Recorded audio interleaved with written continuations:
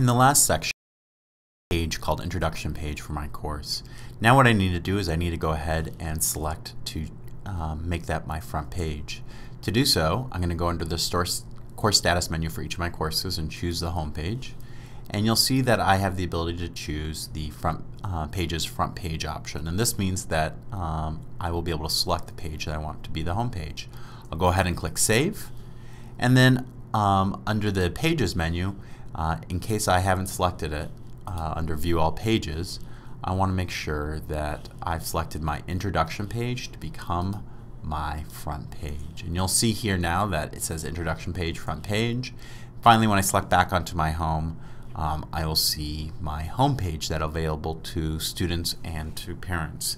To get a, a peek of what this looks like from the student perspective, I'm going to go ahead and flip back into the student mode, refresh the home page, and now um, I can see the introduction page and course description uh, as a student or as a parent.